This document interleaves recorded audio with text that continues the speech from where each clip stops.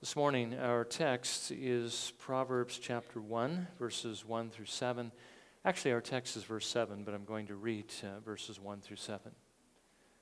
As Solomon opens the book, and again, the purpose of the book being to teach us how to take the commandments of the Lord and apply them to everyday life, or in terms of Pilgrim's Progress, how to walk on the straight and narrow path and not step to off to the right or to the left, and thus incur the Lord's discipline. Uh, this maps out the road for us and shows us how we are to walk. And again, the foundational principle that Solomon would teach above everything else that will help us to apply this is the fear of the Lord. Proverbs chapter 1, beginning in verse 1. The Proverbs of Solomon, the son of David, king of Israel. To know wisdom and instruction to discern the sayings of understanding, to receive instruction in wise behavior, righteousness, justice, and equity, to give prudence to the naive, to the youth, knowledge and discretion. A wise man will hear and increase in learning, and a man of understanding will acquire wise counsel. To understand a proverb and a figure the words of the wise and their riddles. The fear of the Lord is the beginning of knowledge. Fools despise wisdom and instruction. Now, again, this is the introduction to the book. It tells us what the purpose of the book is, it tells us to whom Solomon was writing, and it gives us the starting point of true wisdom, which is the fear of the Lord. And that's what we're going to be looking at this morning. Now, again, we've been asking the question what kind of a man or woman, young man or young lady, or child uh, do you need to be in order to please the Lord? When the Lord is searching the earth, what is He looking for? What is He looking for in you? Is it enough that you're just simply trusting in Jesus Christ? Is that what He's looking for? Well, we know it's true in Scripture that you are saved by grace through faith alone. You are not saved by your works. But does that mean that your works are not important? They are cer- certainly the necessary evidence that you are saved, but is that all that they are? The Bible says that they are also the measure of your love for the Lord. We're going to see this morning they're also the measure of your fear of the Lord. The more that you love Him, the more you are going to want to be like him. The more you're going to want to serve him. And so the more you will catch his eye as he looks to and fro throughout the earth. Now, what the Lord sees, of course, when he looks, he sees that there are some who are going to be more useful to him than others. A quick look at the Bible is enough to show you that there are those that the Lord was able to use more than others. And it was because, of course, some loved him more, some feared him more. Same is true in church history, and the same is true today. Now, we do know that some of that usefulness depends upon what God made us for. Uh, each of us has a particular purpose that God put us into the world to do, and certainly when the Lord has a greater purpose for someone, He gives to them perhaps greater gifts along with that calling. If that's what He's intending to do, He does give that to certain individuals, but we need to realize at the same time that if we haven't been called to do that something great and don't have the greatest gifts, that means that we're useless. That's not the case. The Lord has a use for each one of us and it's true that a great deal of our usefulness is going to come from the effort that we put into growing into the image of our Lord Jesus Christ, which is why we've been looking at the things we've been looking at. What can we do to become more like that individual God will use for his glory? Well, we've seen several things. The more that you grow in your love for the Lord and your devotion to him, the more you cultivate love for your neighbor, to love him as you love yourself, the more you hate this world and turn from it to seek the glories that are above, the more you learn and apply his truth, the more you believe what he says and act on his word, the more useful you will be to him and certainly the more pleasing. And is it important to be pleasing to the Lord? Is it important to want to be useful to Him? Certainly it is. That's why the Lord made you. That's why He sent His Son into the world for you, to make you this kind of person. You know, it's interesting today, it's been going on for years, but this whole idea of, of salvation apart from submission, or that the Lord saves us simply to save us so that we can go about our way, do our own thing, and eventually arrive in heaven, that is so contrary to Scripture. God sent His Son into the world to save you in order that you might do what He has called you to do, in order to turn you from your rebellion and make you into useful servants of His. He has a purpose for you. There's a reason why He has saved you. There is a path that He wants you to walk on. Now, if you would rather not walk on that path, if you'd rather please yourself, if you'd rather use your gifts for yourself to benefit yourself, you're stepping off of that path. And of course, we know from Pilgrim's Progress what happens when you step off the path. It's never a good thing. And we're going to look at some of those things, actually this morning and this evening, that happen and why they happen. And perhaps understanding those things will strike a measure of fear in our hearts so that we will not want to do that. Will not want to be selfish, but rather, you know, not self centered, but rather God centered, that we might do what He calls us to do. Now, certainly, that's what the Lord made you to do. And if you love Him, that's what you will want to do. And to our um, young people this morning who think that perhaps this sounds like a rather boring path to walk on, you know, it's not quite the adrenaline rush that you might get if you go after the things of the world with all the fun that it has to offer. You do need to realize that the greatest heroes who have ever lived and who have done the greatest things in history, who have been threatened the most and have been in the greatest danger, are those who have followed the Lord with all of their heart You do need to remember that the Lord is willing to take you as far as you are willing to go for Him. He will use you, and it's not a boring thing.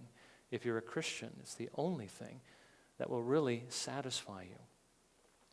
This morning, then, let's consider this characteristic that we've been looking at so far this morning that the Lord is looking for in you. And that is the fact that He wants you to fear Him. As we read in Isaiah 66 2, he wants you to be one who trembles at his word. The fear of the Lord, as you know today, is something that is largely misunderstood, even at, well, especially in the churches. So we want to look at what it means this morning, and this evening we're going to want to look at how this fear should affect the way that you live. As a matter of fact, it will affect it because every Christian does fear the Lord. So, first of all, what does it mean to fear the Lord? And uh, this is important to understand because Solomon is telling us here in his introduction to the book of Proverbs that this is where true knowledge and wisdom begin. This is the starting point. If you don't understand this, you're not going to learn anything else. So, what kind of, uh, what are we talking about here with regard to the, the fear of the Lord? Well, first of all, I think we need to understand what he's talking about with regard to knowledge and wisdom. He's not talking about the wisdom of the world. He's not talking about how to walk the road to material wealth, how to be rich and famous, although we do have to admit that when you do fear the Lord and serve Him, He sometimes does grant material wealth. I mean, the Lord is not opposed to doing that. Of course, He'll only give us what is right for us, He won't give us that which will destroy us. And Solomon here is not talking about a map on how to gain the honors of this world, although God does sometimes grant even honors in this world to those who will humbly serve him. But Solomon is speaking primarily about that kind of wisdom that you need in order to please the Lord, in order to know the Lord, in order to be useful to the Lord. And if that's what you want, then this is the only path you're going to find it on. You need to listen to this kind of wisdom. Now, secondly, notice to whom Solomon is speaking. I want you to notice that this book was not written just for children, but it was written to everybody who needs this wisdom, and of course, that refers to everybody. It does apply uh, primarily to the naive, I suppose you might say. Maybe not primarily, but let's say first of all to the naive. Those who are still young, those who are still inexperienced with life. Solomon addresses numerous times through the book his sons, his children, because he was seeking to be a faithful father to them, to teach them how they could inherit God's blessing in the end, how it might be well with them, how they might live long on the earth. As a matter of fact, Paul uses those same words in Ephesians 6 3 when he talks to the children in the church Children, obey your parents, for this is the first commandment with a promise that it may be well with you and that you may live long on the earth. In other words, the blessings that were promised of, of uh, again, uh, what he means by this, things going well with them, living long on the earth, which are, are material and spiritual blessings, still apply in the new covenant. Solomon wanted these blessings for his children, so he was teaching them the fear of the Lord so they might gain these things. But we realize, secondly, that Solomon was not just a father to his children, and we realize those children may have been numerous, but there were actually many more he was responsible for. He was king, king of Israel. And as king, as the scripture tells us, in a certain sense, kings are to be fathers to their children, which means they're also to instruct them in the right way in which they are to go, so that they too might inherit these blessings. Sadly, we don't have that today. That's something we should be praying for today, that the Lord would give us such leaders. But we don't have those kinds of leaders. We do need to pray for them. But Solomon, being the king that he was, wrote this also for his subjects because they were, in a certain sense, his children. And again, realizing that what Solomon wrote here is the inspired word of God. And God, as our Father, has recorded this for his children this is for us as well. We are the children of God, and we are to listen to this wisdom. But of course, in case you think you've outgrown this book because you're no longer a youth, maybe you're older in years physically, or maybe you've been walking with the Lord for some time and you think, well, I really don't need a book that's written for children, uh, realize that this is a book you will never outgrow. Solomon goes on to write in verse 5 A wise man one who is already wise, will hear and increase in learning. And a man of understanding will acquire wise counsel. Uh, he wrote this book not just for the naive, not just for the youth, but also for those who are already wise, that they might become wiser, because no one can have enough of this wisdom. So, this is the wisdom we're talking about the wisdom that comes from God, the wisdom to please God, the wisdom that will lead to a long life and that it also may be well with us on the earth.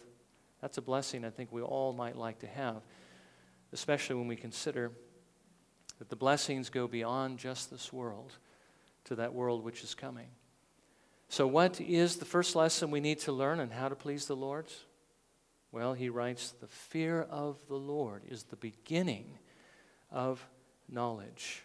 So that's why we need to understand the fear of the Lord. If we don't understand that, then we will really will not be able to learn what it is Solomon is teaching us, the things we need to learn to please God. Now, you know the word fear can mean different things and in different contexts. And if you don't yet know the Lord, the kind of fear that will put your feet on the path of wisdom, the beginning of knowledge for you, would be that same kind of fear that Pilgrim had when he lived in the city of destruction. Those of you who have been reading the book or read the book know that he was afraid that the city was going to be burned with fire and that everybody in the city was going to perish with it. That was a description of the world. You need to understand that there is something to be afraid of, and that is God's wrath and his judgment. That is the beginning of wisdom for the unbeliever.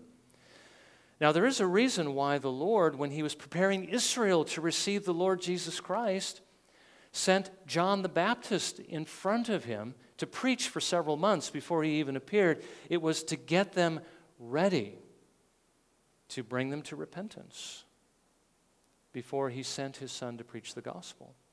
There's a reason why the Lord wants his ministers to preach the law of God and why he wants all his people, as they witness of this gospel, to share with others first what the Lord requires in His law and to speak about the judgment of God before the gospel is offered.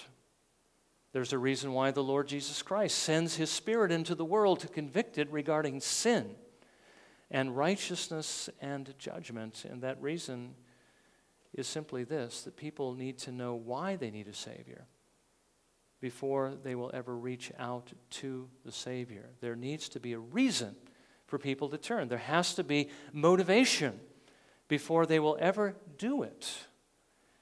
Now, I know it's very much in vogue today to let that motivation be merely love.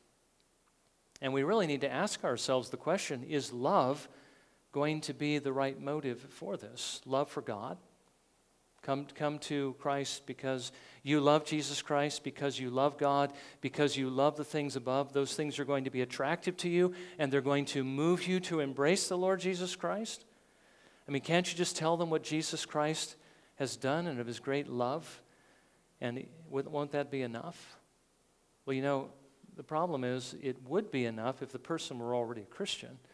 If the person were already converted, if they already had the Spirit of God and already had a desire for those things, that would be enough. But the problem is, unbelievers don't desire spiritual things. The Bible says that they are foolishness to them. So it's not going to give them the proper motivation. Well, what can motivate them? What will motivate them? Well, the fact that they're on their way to judgment, that they're going to have to face God's wrath, that if they don't turn from their sins, that they will suffer for an eternity in hell. That will motivate them because they are afraid of those things. The Spirit actually uses the law to strike fear into the hearts of the unbelieving so that they will seek the Lord that they might live. You see, for them, this is the fear that leads to God's wisdom. It's a good fear. God doesn't terrorize for no reason, but He does that they might be saved. Now, does this kind of fear have any application to us, uh, to the church today? Actually, it does, not just because the Bible speaks about the fear of the Lord, but because we understand the Bible does tell us not everybody who names the name of Jesus Christ is actually a Christian. Jesus does say in the Sermon on the Mount that many will come to me in that day and say, Lord, Lord, did we not prophesy in your name? Did we not perform miracles and do many wonderful works? And he will say, Depart from me. I never knew you, you who work lawlessness. Not everybody in the church is necessarily saved. Now, it is true that everybody in the new covenant is saved, but not everybody in the visible church is necessarily a part of the new covenant.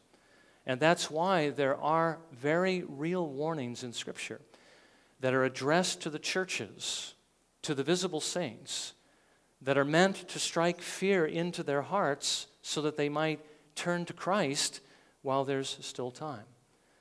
There's a very uh, sobering one in Hebrews. Actually, in the book of Hebrews, there are several, but here's one of the more sobering ones. In Hebrews chapter 10, verses 23 through 31, the author writes this Let us hold fast the confession of our hope without wavering, for he who promised is faithful. And let us consider how to stimulate one another to love and good deeds not forsaking the assembling of ourselves together, as is the habit of some, but encouraging one another, and all the more as you see the day drawing near. Now, listen. For if we go on sinning willfully after receiving the knowledge of the truth, there no longer remains a sacrifice for sins, but a terrifying expectation of judgment and the fury of a fire which will consume the adversaries. Anyone who has set aside the law of Moses dies without mercy on the testimony of two or three witnesses. How much severer punishment do you think he will deserve who has trampled underfoot the Son of God and has regarded as unclean the blood of the covenant by which he was sanctified and has insulted the Spirit of grace? For we know him who said, Vengeance is mine, I will repay and again, the Lord will judge his people. It is a terrifying thing to fall into the hands of the living God. You know, the thing is, the author to the Hebrews wrote this to those who were professing faith in the Lord Jesus Christ. And he wrote this, these particular things because this group was tempted by the persecution of Rome to abandon Christianity and to go back to a legal religion, which would, of course, allow them to escape that persecution. So the author to the Hebrews was trying to point out to them that though you may save your physical life by abandoning Christ to go back to Judaism, now you may lose your souls. Obviously, there were those in that congregation who really did not know the Lord, or at least the possibility was there, and he wanted to point out to them the terror of the Lord, the fear of the Lord to get them not to do that, not to sin against him, but rather to hold on to Christ, to continue to walk in the straight and narrow path, and to do his will. I think the application to the church is, is very real. And we need to listen to every warning that the Lord gives to us and respond to it in a way that keeps us in the path of righteousness. I think its application to those who are outside the church is perfectly clear. But anyway, this is one of the uses of the fear of the Lord, but it does have other uses. There are other senses in which we are to understand these things. And not only is this to keep us in the path of righteousness, not only the fear of judgment, but there are other senses in which we are to fear the Lord. And I think there's a couple of elements to that kind of fear even the true believer should have. First, there's what's called a filial fear that fear that we would owe to God, being his sons and his daughters. It's the same kind of fear, though perhaps on a much smaller scale, that, as the kind of fear that we felt towards our parents as they were raising us. At least we, we did if our parents uh, disciplined us. If, if there was no discipline, if there was only just you know positive reinforcement, perhaps you wouldn't experience this. But you know what it's like to have parents who discipline you, and you know what it's like then to be afraid of doing what's wrong because of the discipline that you might receive. Now, I've already mentioned that many parents today, and hopefully not within the church, but, t- but certainly those in outside the church, you might say, tend to only use positive reinforcement when they discipline their children. You do what's right, you get a reward. And of course, we should use this because it, it's very helpful and it's the right thing to do. The Lord does the same thing. But the Lord also tells us that we should use negative reinforcement. You do what's wrong, and you get disciplined. Again, in the book of Proverbs, where Solomon is teaching wisdom to the people of God on how to raise their children, he says this He who withholds his rod hates his son, but he who loves him disciplines him diligently. We're told today that spanking our children means that we hate our children. But the Lord tells us just the other way around. If you withhold your rod, you hate your children. But if you love them, you will discipline them diligently. The fear of discipline. Now, not punishment. This isn't retribution. You know, retribution has the crime in view, and I'm punishing you for this wrong thing you did. Discipline has in view uh, correction, instruction, to get them to go on the right path. In other words, it has the, the motive that is love to get them to do the right thing. That's what discipline is all about corrective discipline. It can be a powerful motivator. As you know, as you raise your children. Well, the Lord uses the same things with us. He uses positive reinforcement on us, He shows us a great deal of love. He's given us many promises of blessings for obedience to move us to obey Him. But He also uses negative reinforcements. He disciplines us so that we will fear him, so that we'll have not one motivation, but two motivations to serve him because he loves us and cares about us. Again, the author to the Hebrews writes this in Hebrews 12, verses 9 and 10. Furthermore, we had earthly fathers to discipline us, and we respected them. Shall we not much rather be subject to the Father of spirits and live? For they disciplined us for a short time as seemed best to them. But He disciplines us for our good so that we may share His holiness. Well, this is one element of the fear of the Lord that Solomon has in mind here the fear of God's discipline. Because discipline is not a pleasant thing, as you know. God knows how to spank us to get us back on the path, and it's not a pleasant thing, but it is a good thing. Now, that's one element of the fear of the Lord, the fear of chastening. But there is another that we need to bear in mind, and it has to do with who God is. I mean, God is our Father, but remember, He is no mere earthly Father. The kind of fear that He should evoke in our hearts should be greater than the fear that our parents may have evoked in our hearts because of their presence and discipline. As God, you owe him fear. In this context, we call this reverence. I know that many of you who, um, uh, well, in the Christian community have, are aware of, um, you know, the fact that dictionaries have been out for a long, long time. And our new, our modern dictionaries sometimes, uh, you know, they drop off old definitions that used to be useful, but there was one group, I forget exactly who, that brought back one of the old um, dictionaries, the old Webster Dictionary, and you can even find it in digital form online. And it has a very useful definition of the fear of the Lord. So listen to what it, what it says here. As applied to the Lord, it says this The fear acceptable to God is a filial fear, okay, the fear of sons and daughters, so forth, an awful reverence of the divine nature proceeding from a just esteem of his perfections, which produces in us an inclination to his service and an unwillingness to offend him. Now, I would challenge you open any modern dictionary and see if you're going to find a definition like that. It tells us that there's two elements to the fear of the Lord. There's not only that fear we owe him as children, that he is our Father who will discipline us, but there is that fear we owe to him by virtue of the fact that he is God. He is no man that says he's going to discipline us and spank us.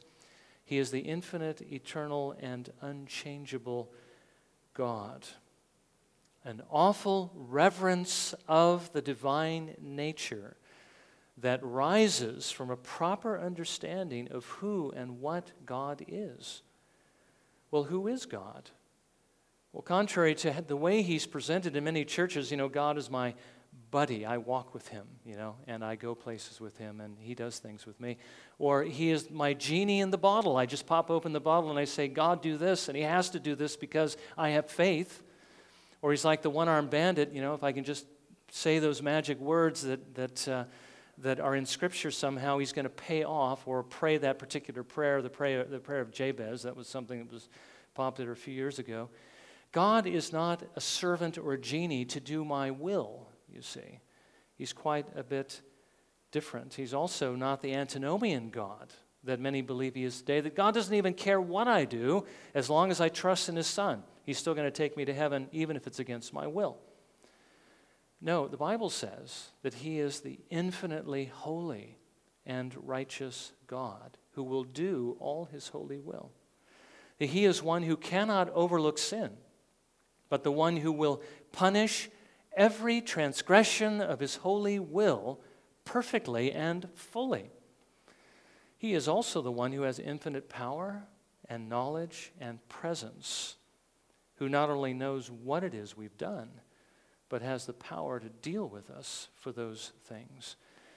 And the fact that these things are true about God should, of course, especially the fact that He's holy, should evoke a kind of fear within us, a real fear, a terror, a fear that leads to obedience, is what Solomon is teaching us. Or as Webster put it, it should incline us to his service and put within us an unwillingness to offend him. So, this appreciation of who God is and what he is again, he's not just some genie, somebody who's pledged to be our servant. He is the holy infinitely righteous and powerful God who loves holiness and hates sin. You, you, you've got to remember that even though we're in the Lord Jesus Christ, as our confession also reminds us, it's true what the Bible says, that our sins still deserve damnation. That's what they deserve. And we would be condemned if we weren't in Jesus Christ. But somehow that seems to be dismissed in our minds. It's not that important anymore. We need the fear of the Lord, the fear of who He is, and the fear of His fatherly discipline if we are going to have the proper motivation to walk in His ways. Now, as Solomon sets out to teach us what those ways are, is it any wonder that he begins here? If we don't have the proper motivation, we're not going to walk in his ways. Now, again, let's not dismiss the fact that God also loves his children. He's going to draw us forward with his infinite love, but he's also going to push us in the same direction with the fear of what he may do to us if we stubbornly refuse to walk in his ways. That is the fear of the Lord. So let's close with just one example of, of what we you know, what we read earlier, actually, in, in uh, Proverbs chapter 1. Remembering that it's written to the church, so it's addressed to you, and it's a warning of what could happen to you but for God's grace, unless you fear the Lord and turn from your sins. Again, Lady Wisdom. Because I called and you refused. I stretched out my hand and no one paid attention. And you neglected all my counsel and did not want my reproof. I will also laugh at your calamity. I will mock when your dread comes. When your dread comes like a storm and your calamity comes like a whirlwind. When distress and anguish come upon you, then they will call on me, but I will not answer. They will seek me diligently, but they will not find me, because they hated knowledge and did not choose the fear of the Lord. They would not accept my counsel. They spurned all my reproof. So they shall eat of the fruit of their own way and be satiated with their own devices. For the waywardness of the naive will kill them, and the complacency of fools will destroy them. But he who listens to me shall live securely and will be at ease from the dread of evil. So, what have we learned from this this morning? Fear the Lord. That's the beginning of knowledge, the beginning of wisdom. Turn from your sins. Walk in the paths of righteousness. You can only do that, of course, by trusting in the Son of God, who will give you the power to do this. One thing that we will see this evening is that the Son of God Himself, in seeking to be our example, of course, He was our perfect example Himself, walked in the fear of the Lord. If Jesus Christ feared the Lord, we should as well. Doesn't mean he feared himself.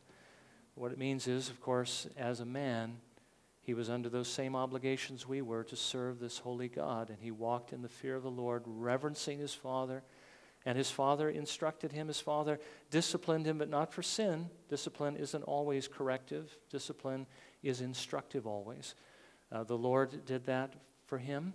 That's why he grew in wisdom stature and favor with God and man.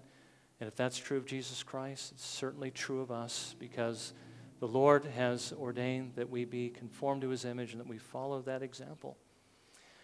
This is what you need to do. This is what you need to be. And by the way, this is the kind of person the Lord is looking to use. This is what he wants to see in you somebody who fears him in this way and is willing to turn from your sins and to walk in his paths.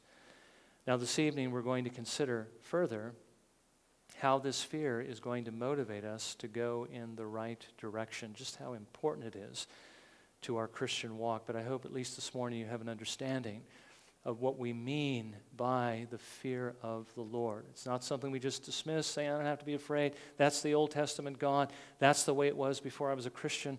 No, this is something we have to deal with as Christians because God is still God. He is still holy, infinitely holy and just. He is still everything that he was before. And he is our Father. And we do need to listen to him because he loves us and he wants us to walk in his ways. And so he will discipline us. Well, for now, let's, uh, let's bow in a moment of prayer and let's ask uh, the Lord to search our hearts because as we prepare to come to the table, we do need to consider whether or not we fear the Lord. You realize if God says you need to fear Him and you don't fear Him, that you're sinning because that's a command. You need to fear the Lord. I need to fear the Lord. We all do. So let's search our hearts to see whether or not we do fear Him and whether that fear is actually moving us to turn away from our sins and to walk in His ways, because that is the fear that He is talking about here. Well, let's spend a few moments in prayer.